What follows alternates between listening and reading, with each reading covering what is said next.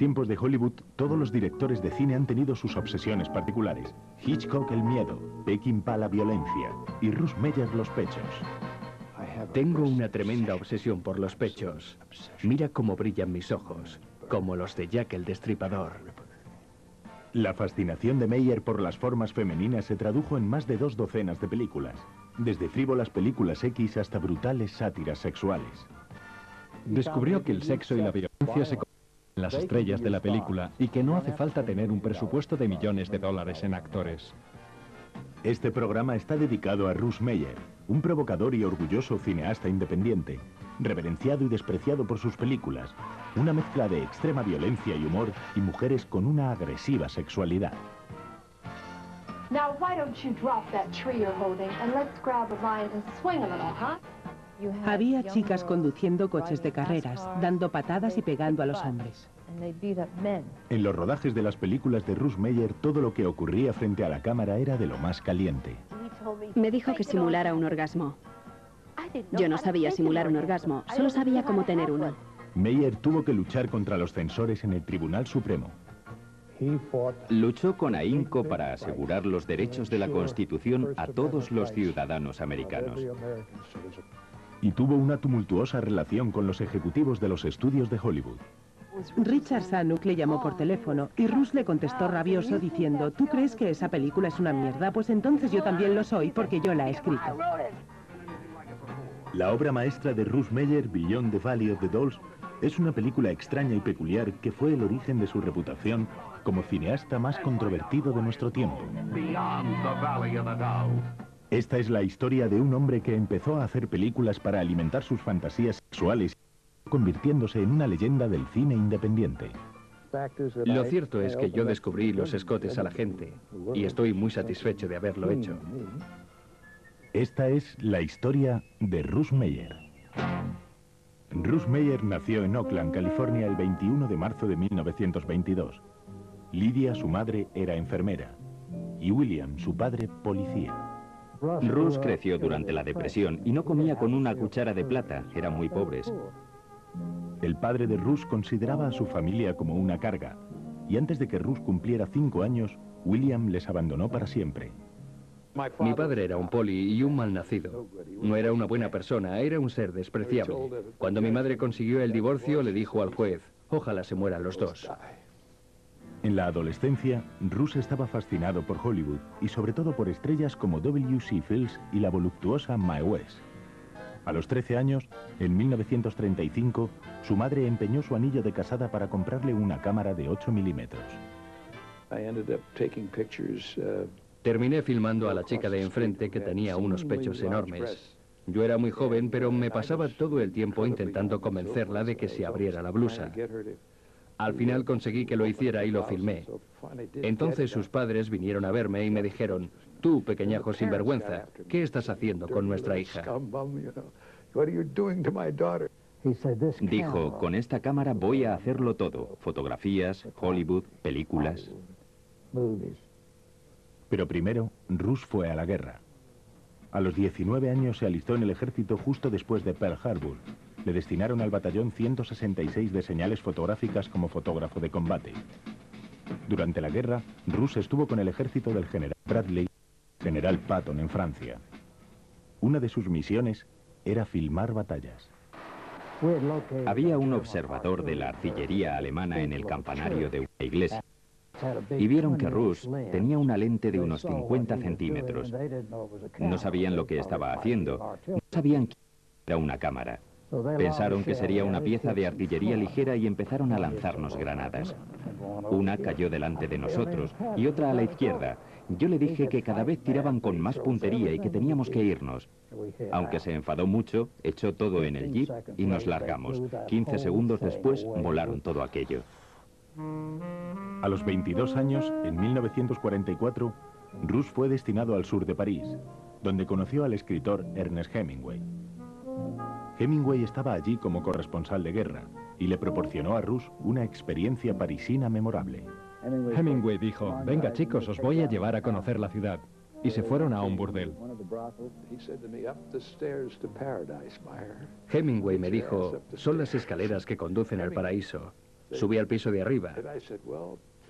Yo me puse algo nervioso porque la verdad no tenía mucha actividad de esa clase, pero le puedo decir que las señoritas francesas supieron hacer una buena exhibición y conseguir que yo lo hiciera bien.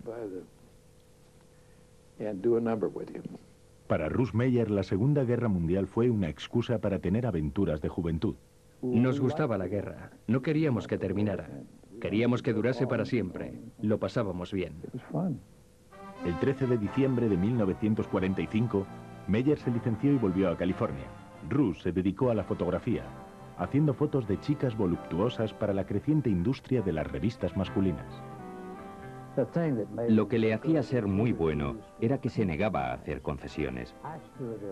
Una vez estuve con él de pie más de tres horas al sol en un sitio en el que los mosquitos no paraban de picarnos solo para que unas nubes se situasen en el lugar adecuado para poder encuadrar bien una foto. Los encuadres de sus fotos eran preciosos, los fondos que elegía eran muy buenos y las mujeres que seleccionaba eran excelentes. En 1954, una de esas chicas, Eve Turner, le llamó la atención de un modo especial. La pareja se casó dos años después. Estábamos muy unidos. Nos preocupábamos mucho el uno por el otro. Sexualmente era estupenda. Tenía unos pechos muy grandes y le gustaba moverlos. En 1958, Pete DeSensi, dueño del teatro El Rey Burlesque de Oakland, propuso a Meyer que produjeran juntos una película con desnudos. Pete DeSensi tenía más que decir al respecto que nadie. Era un buen empresario y una persona encantadora. A finales de los años 50, casi todas las películas que tenían desnudos eran cortos con sexo explícito para pasar en las despedidas de solteros, o documentales sin argumento rodados en colonias de nudistas. Meyer quería transferir el sexo inocente de sus chicas a la gran pantalla. Pete DeSensi le propuso hacerlo siempre que él pudiera aportar el 50% del presupuesto. Russ escarbó en sus ahorros para encontrar el dinero. Tenía suficiente dinero para pagar mi parte y Pete DeSensi puso la suya. Cada uno de nosotros aportó unos 12 mil dólares. Incluso en 1958, 24 mil dólares no era demasiado dinero para hacer una película. Para reducir costes, Russ Meyer contrató como protagonista masculino a Bill Tease, un viejo amigo suyo del ejército. El argumento de la película The Immoral Mr. Tease gira alrededor de un hombre que después de una anestesia en el dentista, adquiere la capacidad de ver a través de la ropa de las mujeres. La clave, por supuesto, es Superman. ¿Por qué todos los chicos le adoran? Porque tiene una visión de rayos X, pero no porque le permita detectar una bomba o un explosivo a punto de estallar, sino porque puede ver a través de la ropa de las mujeres. En 1958, los distribuidores se negaban a trabajar con películas que tuviesen desnudos.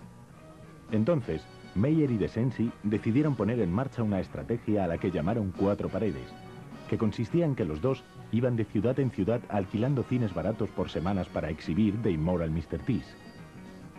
Pero en cada sitio al que llegaban tenían que enfrentarse a los censores locales. Russ y su socio Pete DeSensi se pelearon de verdad con los censores. Los llevaban a juicio hasta que conseguían que dijesen, vale, poned la película. No siempre fue así. En San Diego prohibieron The Immoral Mr. Tease la primera semana. En otras ciudades, Meyer y DeSensi eludieron a los censores diciendo que Mr. Tease era una película de salud pública. Mi amigo Pete DeSensi se ponía delante de la pantalla vestido de médico con un fonendoscopio y se dedicaba a decir bobadas como todos los que están aquí tienen que tener mucho cuidado por lo que puede pasar si se enrollan con muchas chicas. Había que tener respuestas preparadas del tipo, si haces eso cogerás una enfermedad venérea. Pero en realidad no hacía falta porque con él estaba una enfermera pechugona que se dedicaba a poner el fonendoscopio a todos o a tomarles la temperatura. Y salíamos de allí con mucho dinero. Al final, The Immoral Mr. Tease obtuvo más de un millón y medio de dólares. The Immoral Mr. Tease inició un género nuevo.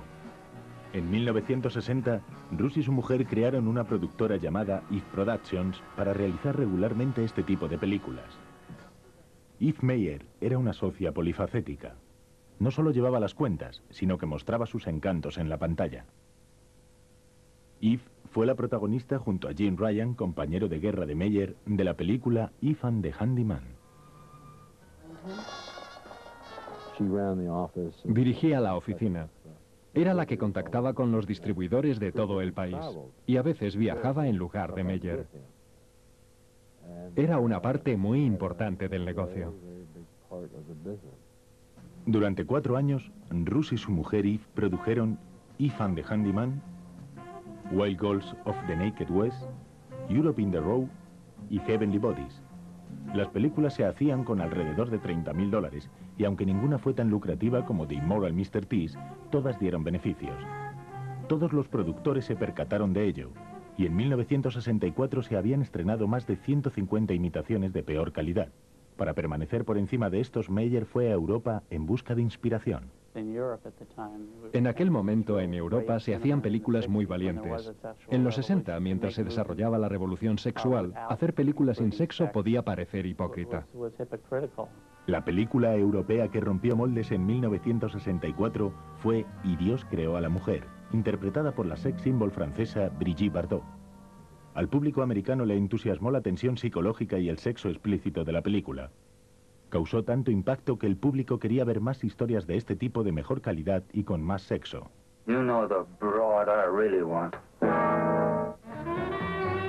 En 1964, Ruth Meyer estrenó Lorna. Titulada así por la voluptuosa protagonista Lorna Maitland. Estaba inspirada en el cine europeo y era un melodrama con argumento sexual. Pero Lorna no tenía la sofisticación de las películas francesas. Bruce Meyer rodó varias películas en lugares remotos. Yo creo que eran unos cuentos falsamente morales. Le daba lo mismo una cosa que otra. Eran películas que podría haber hecho uno de esos predicadores que van de ciudad en ciudad advirtiendo a las mujeres de lo que les pasará si son malas. Meyer esperaba que intercalando entre las escenas de sexo a un pastor predicando contra el pecado aplacaría a los censores. Pero estaba muy equivocado. Lorna fue catalogada de obscena en todo el país. Se atacaban los cines en los que se exhibía, y la película fue prohibida en Maryland, Florida y Pensilvania. Contrató abogados y tuvo que pleitear en muchos sitios para poder exhibir sus películas. En el momento en el que aparecía una película de un director independiente, el comité de censores aumentaba de 5 o 6 personas hasta 40. Le podría contar muchas historias de los comités de censores. Los censores le costaron a Meyer mucho dinero al impedir que Lorna se exhibiese en los cines de estreno. A Meyer le apasionaba su trabajo, pero también era un hombre de negocios. En su siguiente película, Motorcycle, de 1965, eliminó el sexo para introducir violencia contaba la historia de tres motoristas gamberros que crean el caos en el desierto. El protagonista estaba interpretado por el actor Alex Rocco, que reconoce que Meyer catapultó su carrera. Yo llevaba un bar y me dijeron que buscaban a alguien para hacer dos frases en una película de Russ Meyer. Fui a verle y después de charlar con él durante media hora, me dio el papel protagonista. Yo no había trabajado nunca como actor y desde entonces me lancé hasta trabajar en El Padrino. La película tuvo mucho éxito en los circuitos de estreno. En 1966, Meyer usó 45 mil dólares de los beneficios de Motor Psycho para producir Faster Pussycat Kill Kill. En esta ocasión, Meyer cambió las motos por coches y cambió también el sexo de los villanos al contratar a tres explosivas mujeres que hacían de bisexuales diabólicas.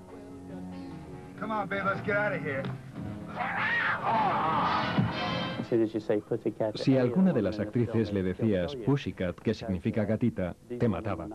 No eran gatitas, eran auténticas tigresas. Las mujeres tenían una enorme presencia en la pantalla. No fueron seleccionadas por su experiencia dramática, sino por su habilidad para provocar sexualmente al público. Eran actrices, eran simplemente mujeres de mundo. Salieron a la calle a buscarlas y decían, mira qué mujer más guapa, traedla. Lo mejor es coger chicas de alterne que están lisa y llanamente acostumbradas a provocar a los hombres. Que salgan ahí y que... Faster Pussycat Kill Kill se convirtió en un clásico del cine independiente. Fue la primera vez que se vio a chicas conduciendo coches de carreras, dando patadas y pegando a los hombres. Sin embargo, cuando se estrenó Faster Pussycat Kill Kill, recaudó muy poco en taquilla. Ruth siguió buscando otra película rompedora del tipo de The Immoral Mr. Tease, y en 1968 decidió llegar al límite de la explotación sexual. Vixen cuenta la historia de una joven adúltera que seduce a cualquiera que se le ponga por delante. Al marido de su amiga. A las mujeres de los amigos de su marido. A su hermano. Incluso a una trucha. Sí, a una trucha. La protagonista de Vixen era Erika Gavin, perfecta representación de las heroínas de Meyer. Era muy agresiva sexualmente, completamente inmoral y encantada con su estilo de vida. Deseaba hacer cualquier cosa que incluyera sexo, pecado y perversión. Un personaje al que el director adoraba, porque el director era Russ Meyer. El público fue en masa a ver Vixen, y los censores la sometieron a escrutinio por todo el país. Pero donde Meyer encontró mayores problemas fue en Ohio, donde un abogado conservador, Charles Keating Jr., dirigía un grupo de vigilantes de la moral ciudadana denominado Ciudadanos por una literatura decente. El problema era que la familia de Charles Keating dirigía Cincinnati. Los periódicos, los juzgados, la oficina del fiscal, todo. Y Keating estaba obsesionado por las obscenidades.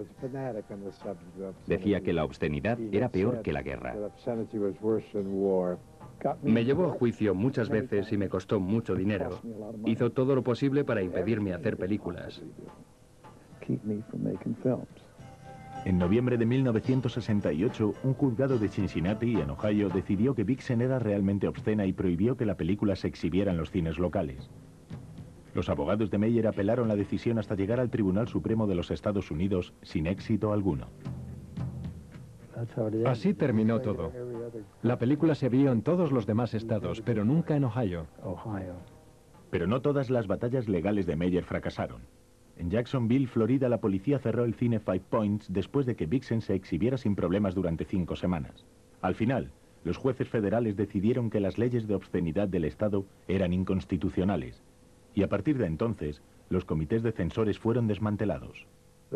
Todo por lo que Russ Meyer peleó proporcionó una libertad que no existía antes en este país a toda la comunidad creativa no solo a la del cine, sino también a la del teatro y a la de la letra impresa. Luchó con ahínco para asegurar los derechos de la Constitución a todos los ciudadanos americanos.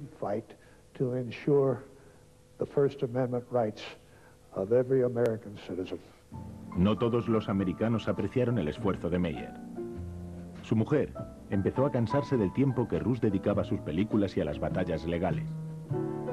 En 1968, Eve decidió disolver su matrimonio y la productora de ambos. Ella no estaba de acuerdo con sus películas. No le gustaba que hiciera películas X y esa fue la causa del divorcio. Erika Gavin, la protagonista de Vixen, se encontró con uno de los detractores de Meyer al participar en una tertulia de televisión. Me dijeron que una de las invitadas sería Betty Friedman, líder del movimiento feminista. Yo dije, ¿qué? Y ella empezó a meterse con las películas de Rush y a decirme que cómo me atrevía, que como mujer debería estar avergonzada de exhibirme de ese modo y ese tipo de cosas. Yo le contesté, ¿sabes qué? Que estoy orgullosa de hacerlo. Si la venta de entradas sirve como indicador, Erika Gavin tenía razones para estar orgullosa. Vixen costó 72 mil dólares y en solo dos años dio unos beneficios del 3.000%. En 1968 apareció un artículo en The Wall Street Journal alertando a los ejecutivos de la 20th Century Fox del peligro que suponía Russ Meyer. Era un magnífico hombre de negocios, si no, no hubieran escrito sobre él. Si los periodistas del Wall Street Journal no me advierten que ese hombre podía hacernos ganar mucho dinero, nunca se me hubiera ocurrido dirigirme a él. Los ejecutivos de la Fox querían hacer una segunda parte del éxito de Jacqueline Susan, El Valle de las Muñecas. De un plumazo, el presupuesto de Meyer subió de 72 mil dólares a más de un millón. La oferta para dirigir Beyond the Valley of the Dolls fue un auténtico triunfo personal para Russ. Durante 25 años, los poderosos de Hollywood habían ignorado al rebelde veterano de guerra, y ahora le ofrecían su dinero para que él hiciera su propio tipo de cine. Meyer se sentía victorioso. Yo estaba feliz por el hecho de que viniesen a hacerme ofertas, porque hasta entonces era como, olvídame, no me hables de eso. La primera tarea de Meyer fue empezar a construir la historia. Cuando empezó a sentirse presionado, decidió asociarse con el escritor más inverosímil. Llamé a Roger Tibert y le dije que viniera, que ya era hora de que hiciésemos algo juntos. Roger Ebert ganó más tarde el premio Pulitzer, pero entonces era un crítico de cine que estaba comenzando en el Chicago Sun-Times. Se habían conocido después de que Roger Ebert escribiese una carta al periódico The Wall Street Journal, en la que alababa las películas de Russ Meyer. Roger era como su hermano pequeño al que tenía que enseñarle todo lo referente a tetas y culos. Estaba encantado. Con 27 años me habían llamado de uno de los estudios más importantes para que escribiese un guion. Ebert pensó que conocería a todas las actrices de Hollywood, pero enseguida se dio cuenta de que trabajar con Meyer no consistía solo en cócteles y bikinis. Russ podrá contarte historias de actrices que casi hacían el amor colgadas de las lámparas. Pero mi recuerdo de Russ es que creía que escribir y escribir a máquina eran la misma cosa. Y si no oía el ruido de la máquina, venía a preguntarte qué te pasaba. En menos de seis semanas, Ebert escribió un guion que parecía inspirado en Shakespeare. Al final de Beyond the Valley of the Dolls hay un cuádruple asesinato, tres bodas y un epílogo. En definitiva, una estructura propia de Shakespeare. Matas a los malos, casas a los buenos y al final el narrador recita una poesía. El presupuesto de la película era inmenso, pero Russ seguía tratando al equipo y a los actores de Beyond the Valley of the Dolls igual que si estuviesen trabajando en una de sus películas independientes de bajo presupuesto. Meyer incluso le mandó a la actriz Eddie Williams, que tenía un contrato con la Fox, que estuviese a cargo de parte del atrezo. Ella consideró humillante ese trabajo. Allí estaba yo, recién contratada por los estudios Fox, que querían hacer de mí una nueva Marilyn Monroe. También querían que estuviese a cargo del atrezo. Así que le dije, vete al infierno con tu atrezo. Ahora mismo me voy a casa a descansar un rato. Creo que hasta entonces ninguna de sus modelos le había hablado así. Y se puso furioso. Russ prohibió al resto del reparto que hablase con Eddie. Los jefes del estudio estaban encantados con la disciplina militar de Russ. Terminó la película antes de tiempo y por menos dinero del presupuestado. Solo un genio puede hacer eso a un estudio importante.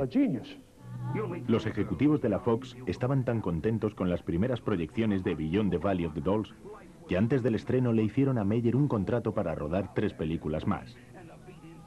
Pero cuando se estrenó, los críticos la destrozaron.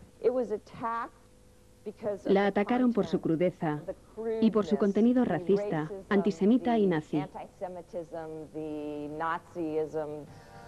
Los estudios tenían cosas más importantes de las que preocuparse que de las malas críticas. Beyond the Valley of the Dolls fue clasificada como película X por la Asociación Americana de Cine. Eso significaba que no se podía anunciar en los periódicos y que no era autorizada para menores de 17 años. Los accionistas de los estudios estaban furiosos. Es una empresa de accionistas. Muchos de ellos eran abuelitas en zapatillas de deporte que de repente empezaron a preguntarse, ¿cómo es posible que nuestra empresa haya hecho algo así? Para ellas era como si nos hubiéramos vuelto locos y estuviésemos haciendo películas que no tuvieran nada que ver con las normas de estilo de la Fox. Pero eran tiempos difíciles, había que pagar el alquiler y las películas de Rush ayudaban a pagarlo muy bien. A pesar de la clasificación X, Beyond the Valley of the Dolls sorprendió a todos convirtiéndose en la película más taquillera del año para la Fox.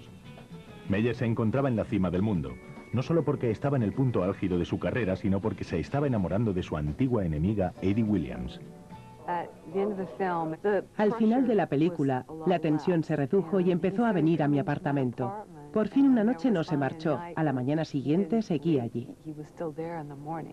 Eddie era la joven actriz de la temporada y Russ un fuera de ley que se había integrado en el sistema. El estatus de Eddie como joven actriz de la temporada duró poco tiempo.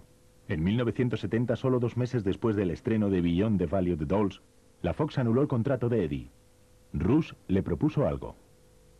Me dijo, nena, yo te ofrezco un contrato. ¿Te gustaría un contrato de matrimonio? Me sorprendió. El 27 de junio de 1970, Russ y Eddie se casaron en Los Ángeles. Yo pensé, esto va a ser maravilloso, como Humphrey Bogart y Lauren Bacall. Según su contrato con la Fox, la segunda película de Meyer con el estudio sería una adaptación de Los Siete Minutos de Irving Wallace, una novela sobre la censura. En una ocasión memorable, el presidente de la Fox, Richard Sanuk, llamó a Meyer a su casa para que hiciera unos cambios en el guion. Russ le respondió como un animal enjaulado. Russ le contestó rabioso diciendo, ¿tú crees que esa película es una mierda? Pues entonces yo también lo soy, porque yo la he escrito. Era como los cineastas actuales. No le interesaban mucho los juicios de los comités. La película se estrenó en 1971 y el público la ignoró por completo. Incluso Russ admitió que la película había sido un esfuerzo inútil. Fue un desastre. No tenía los elementos necesarios. Un tipo entra en la habitación, le quita el sujetador a la chica, le arranca las medias, la tira al suelo y la posee. Eso es todo. Así acabó la vinculación de Meyer con la Fox. Después del fracaso de Seven Minutes, el estudio rompió el contrato con Meyer que impertérrito volvió a hacer cine independiente. En 1973 se estrenó el drama histórico Black Snake. La película tuvo una financiación independiente, pero tenía poco que ver con el cine habitual de Meyer. Contaba la historia de la revuelta de unos esclavos en Barbados. La peor película de todas fue Black Snake, que solo trata de latigazos, pero no de buenos o malos latigazos, sino de latigazos placenteros. El coproductor Jim Ryan dice que la culpa del fracaso la tuvo el reparto. La protagonista era una actriz muy delgada llamada Anushka Heinfeld. Creo que el problema fue que la gente quería ver pechos gigantescos y no teníamos suficientes. Black Snake fue un desastre en taquilla. La decisión de Meyer de contratar a Anushka Heinfeld tuvo repercusiones también en casa. Su mujer, Eddie Williams, creía que ella tenía que haber sido la protagonista. Me odió por no darle el papel. Según ella, yo no hacía lo que debía para compensar todo lo que ella hacía por mí. Pero Eddie Williams piensa que el ego de Ruth fue lo que se interpuso en su matrimonio. Está todo el tiempo obsesionado por sí mismo. Su carrera es un 90% y su mujer un 10%. Siempre será así. El 6 de noviembre de 1975, Eddie Williams y Ruth Meyer pidieron el divorcio. En cinco años, Meyer pasó de ser un recién casado director de cine de la Fox a ser un divorciado director de cine independiente con dos fracasos a sus espaldas. Acostumbrado al desamparo, Meyer autofinanció sus dos siguientes películas, Super Vixens y Mega Vixens, estrenadas en 1975 y 1976, respectivamente. Aparece un grupo increíble de mujeres con las que no te encuentras en los clubs de alterne normales, sino en los de la América profunda. En parte, el encanto de esas mujeres es que se desconoce su procedencia. Una actriz encontró una manera novedosa de hacer notar a Russ sus encantos. Cuando le conocí me apeteció rozar su espalda con mis pechos. Y lo hice. Le rocé la espalda con ellos y le dije hola. Porque estaba mirando para el otro lado y sabía que así atraería su atención. Kitten consiguió el papel, pero el éxito ya no estaba garantizado solo por enseñar pechos, aunque fueran inmensos. En 1975, cuando se estrenó Super Vixens, la pornografía dura estaba cada vez más al alcance de la mano.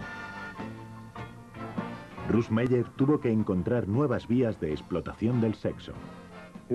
Sus películas tenían que ser más fantasiosas, más escandalosas y también más violentas. Russ se propuso volver a atraer a sus admiradores filmando sus escenas más inolvidables hasta la fecha.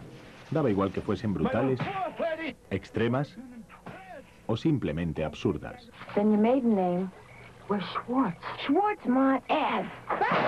My true name is Ava Brown Jr., the bastard daughter of Adolf Hitler and his flaxen-haired mistress. Siempre perfeccionista, Meyer pedía a sus actores que fuesen naturales. Dentro de los límites de su absurdo territorio, Russ exigía autenticidad total. Yo no sabía simular un orgasmo, solo sabía cómo tener uno. Russ tuvo que buscar a alguien del equipo para usar su pene. Estaba dispuesto a todo con tal de alcanzar su objetivo. En los créditos de Mega Vixens y de Super Vixens figura fotografía, montaje, producción y dirección de Russ Meyer. La publicidad de Super Vixens pregonaba Russ Meyer vuelve cabalgando del desierto de Señora como un visigodo enloquecido por reconquistar su trono. Meyer había vuelto. En 1978, Malcolm McLaren, manager del grupo punk británico Sex Pistols, pidió a Meyer que dirigiera una película que esperaban que fuese la respuesta punk a qué noche la de aquel día de los Beatles. A Meyer le pareció bien y Roger Ebert fue contratado para escribir el guion. La película se iba a titular ¿Quién mató a Bambi? Desde el momento en que Russ llegó a Londres para buscar exteriores, la colaboración no funcionó. Meyer no soportaba al cantante de los Sex Pistols, Johnny Rotten. Johnny Rotten era un tipo desagradable, al que apetecía pegar. De verdad que cada vez que te acercabas a él te daban ganas de pegarle. Era totalmente antiamericano y siempre estaba metiéndose el dedo en la nariz. Siempre tenía el dedo en la nariz y hacía pelotillas. Una persona muy desagradable. El desagrado fue mutuo. A Johnny Rotten y a Sid Vicious tampoco les gustó Russ. Como símbolos del antiautoritarismo no soportaban las maneras dictatoriales de Meyer. La actriz Kitten Natividad intentó relajar la tensión con una oferta de paz. Kitten ayudó mucho. Podía llegar a sentarse en sus caras. Al final, ni siquiera los buenos propósitos de Kitten pudieron salvar la película. El dinero de McLaren no llegaba y los obreros no trabajan gratis. Los carpinteros, los electricistas, los pintores, todos se cansaron de no cobrar y tuvimos que abandonar la película. La película no se llegó a hacer. Russ volvió a América a rodar Beneath the Valley of the Ultra Vixens con Kitten Natividad como protagonista. El divertimento sexual de 1979 representó la auténtica quinta esencia de Russ Meyer. Beneath the Valley of the Ultra Vixens fue la película número 23 y también la última de Meyer, que tenía 57 años.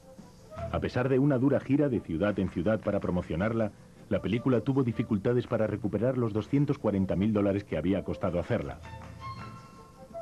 Russ no tenía problemas para rodar sexo, pero el público quería porno duro.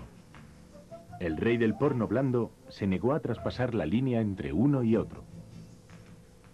Nunca hizo porno duro y me dio dos razones para no hacerlo. La primera era que no le interesaba lo que ocurre de cintura para abajo, porque sus fetiches son los pechos. La segunda razón es que si te dedicabas al porno duro tenías que vértelas con las mafias. Porque en los días previos al vídeo, las películas porno se exhibían en cines porno que eran propiedad de los mafiosos. El resultado es que solo ha hecho películas que no pasan de moda. Las películas porno envejecen muy deprisa, pero las comedias y las parodias de Russ Meyer permanecerán siempre frescas. La naturaleza inocente de las películas de Meyer y su espíritu independiente han demostrado ser una combinación lucrativa. Al haber permanecido autónomo, Russ es el único dueño de sus más de 20 películas. La revolución del vídeo apareció en el horizonte. Russ estaba sentado en una mina de oro. Russ ha ganado mucho dinero y sigue haciéndolo. Meyer está en la inusual situación de recibir el 100% de los beneficios de todas sus películas. Desde principios de los años 80, Russ vende sus vídeos directamente a través de su propia empresa. Meyer siempre ha sido un hombre de negocios muy práctico. Muy a menudo las personas que llaman por teléfono a su empresa se encuentran con él al otro lado de la línea. Más de 20 años después de rodar su primera película, The Immoral Mr. Tease, Meyer sigue despertando interés. Podríamos pensar que todo el mundo tiene ya los vídeos de Russ Meyer, pero la gente más joven también los quiere tener. Estudian a Meyer en la universidad, estudian su forma de editar, su fotografía. Es increíble. Como él dice, siguen vivas. El trabajo de Meyer empezó a reconsiderarse en los años 80 y 90. Se han hecho muestras retrospectivas de Russ Meyer con todos los honores en la Universidad de Yale. Sus películas han influenciado a directores tan distintos como John Waters, David Lynch y Martin Scorsese. Estoy seguro de que Martin Scorsese y otros directores conocen cada plano de las películas de Meyer. En los últimos 20 años, toda la energía creativa de Meyer se ha canalizado en su autobiografía de mil páginas. El libro incluye más de 4.000 fotografías, además de anécdotas personales y una historia detallada de cada una de sus películas. Esta autobiografía no tiene fecha de publicación.